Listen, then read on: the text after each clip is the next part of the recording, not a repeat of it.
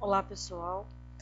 Bem, veja bem, até agora nós trabalhamos com átomos neutros, né, com espécies químicas neutras, onde nós tínhamos é, a mesma quantidade de elétrons para a mesma quantidade de prótons, sendo que prótons têm cargas positivas e elétrons têm cargas negativas.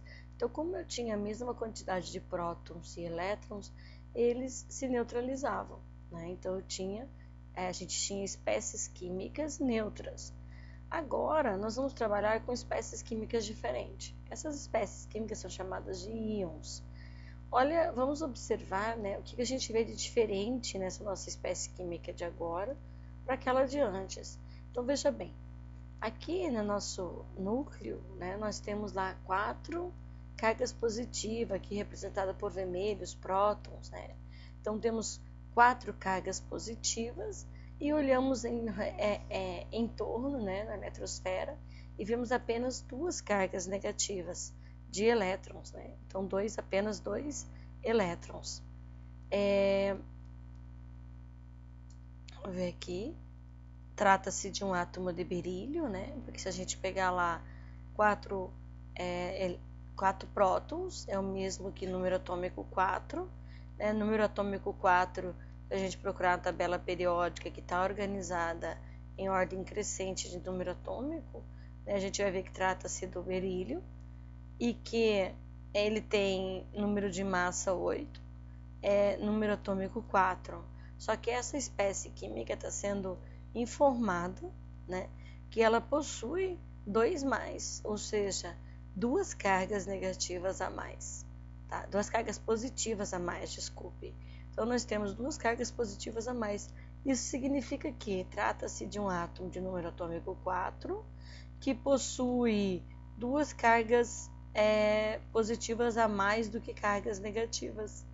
Né? Então, eu tenho aqui ó, duas cargas, dois elétrons a menos. Então, quando eu tenho dois elétrons a menos, eu chamo isso de íon cátion. Né? Então, é uma espécie íon e é uma espécie cátion. Por que cátion? Porque ela está positiva. Né? Ela perdeu dois elétrons, ela deveria ter quatro elétrons, e ela perdeu dois elétrons e ela ficou então com duas cargas positivas a mais do que ela deveria ter quatro elétrons e quatro cargas positivas. E se eu tenho dois elétrons apenas, então estou com duas cargas positivas a mais do que elétrons. Então eu chamo isso de íon cátion. Agora, se eu tenho uma espécie química aonde eu, olha lá, está informando, né? Vamos ver aqui, está informando que é, eu tenho dois menos. Eu tenho dois menos como carga. Então vamos contar o que tem aqui, ó. Eu tenho 4, 5, 6, 7, 8 prótons. 8 prótons é o número atômico do nosso átomo. Número atômico 8, a gente vai identificar que é o oxigênio ele tem massa de 16, o oxigênio. E está informando aqui que ele tem 2 menos. 2 menos, isso significa para nós que ele vai ter duas cargas negativas a mais.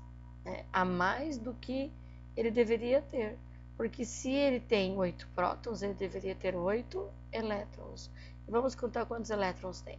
1, 2, 3, 4, 5, 6, 7, 8, 9, 10. Então, ele tem 10 elétrons. Se ele tem 10 elétrons, ele deveria ter 8. Então, ele vai ter 2 menos. Hum, aí, ele vai ter aqui duas cargas negativas a mais, né? E se ele tem duas cargas negativas, é identificado por 2 menos. Então, a essa espécie química nós chamamos de espécie química íon-ânion. Então, o íon né, é uma espécie química que tem um número de prótons diferente do número de elétrons. Então, é, no íon, seja ele cátion ou seja ele ânion, né, nós vamos ter, não vamos ter a quantidade igual de prótons e nêutrons, é prótons e elétrons, tá? Então, quando o átomo ele perde elétrons, o íon terá carga positiva e será chamado de cátion. Olha lá, eu tenho um átomo de ferro que ele tem 26 prótons, tá? E ele está dizendo ele está com três cargas a mais de prótons do que de elétron. Então, quantos elétrons ele teria aqui? ele teria 26 menos 3, ele teria 23 elétrons, tá? Se fosse o caso da gente descobrir quantos elétrons tem, a gente tiraria 3 de 26, daria 23 elétrons, tá?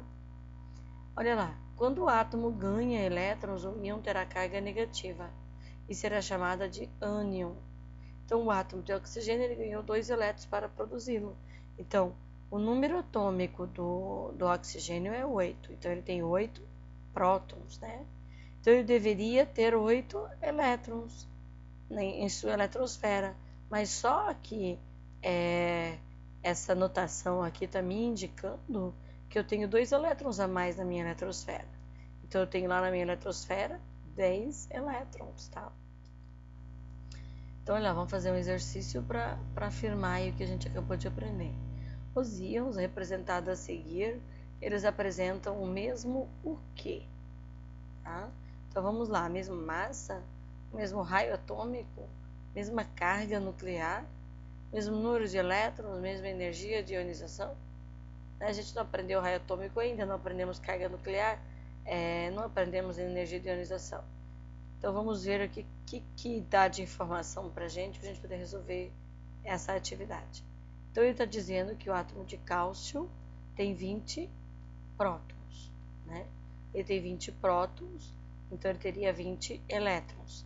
Só que ele está dizendo que ele é uma espécie química com dois mais, ou seja, ele tem dois prótons a mais do que em elétrons. Tá? Olha lá o potássio. O potássio, ele está dizendo que ele tem número atômico 19 e ele tem um próton a mais. Tá? Então, ele está com um próton a mais do que elétrons. Isso significa que ele perdeu um elétron aqui e aqui ele perdeu dois elétrons, tá? Então vamos ver como é que a gente resolve isso aí, ó. Então o cálcio, ele tinha 20 elétrons e ele perdeu dois, ficando com 18 elétrons então, tá? Porque a mesma quantidade de prótons que eu tenho é a mesma quantidade de elétrons. Só que esse 2 aqui diz eu estou com duas cargas a mais do que em elétron. Então, se ele perdeu dois elétrons, então ele ficou com 18. Nessa espécie química aqui, ele diz que o cal, o potássio tinha 19 elétrons. Só que o potássio perdeu um elétron, ficando com um próton a mais do que em elétron. Então ele tem 18 elétrons. Então o que, que eles são iguais aqui? Em número de elétrons. Tá? As afirmações referem-se ao número de partículas constituintes de espécies atômicas. Tá? Então, as afirmações referem-se ao número de partículas constituintes das espécies atômicas. Vamos ver o que é verdadeiro e o que não é. Dois átomos neutros com o mesmo número atômico, olha, dois átomos que são nêutrons, ou seja, têm a mesma quantidade de elétrons e de prótons, com o mesmo número atômico, ou seja, eles têm o mesma, é, são o mesmo elemento. Tem o mesmo número de elétrons? Sim, né? A gente já viu que quando os átomos são nêutrons, é porque eles têm a mesma quantidade de elétrons e de prótons, de elétrons e prótons. Agora vamos para o outro. Um ânion bivalente, ou seja, um ânion que está com duas cargas positivas, ele tem 52 elétrons e o número de massa de 116. E ele tem 64 nêutrons. Será que isso tudo é verdade? Vamos ver então. Então, nêutron é igual a massa menos o número atômico, né? Então, eu vejo lá a massa de 116 né? e o número atômico igual a 50. Por que 50? Porque o ânion ele é bivalente. Então, ele tinha 52 elétrons e ele perdeu 2 elétrons, né? Então, eu tenho 50. Então, eu vou ter nêutrons igual a 66. Então, essa alternativa não está correta. Vamos para a próxima.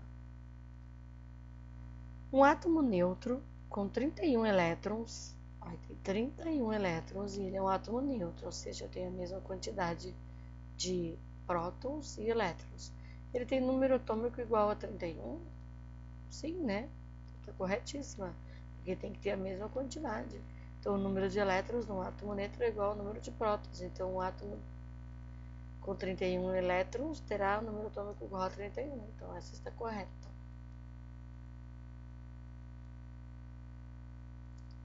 Um átomo neutro, ao perder 3 elétrons, então eu tenho um átomo que é neutro, e ele perde 3 elétrons.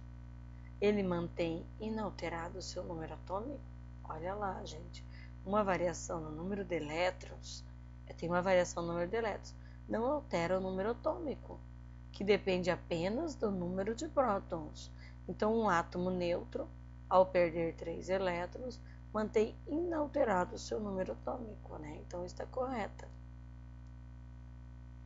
Um cátion trivalente com 47 elétrons. Então, eu tenho um átomo trivalente, ou seja, ele está com um cátion, né?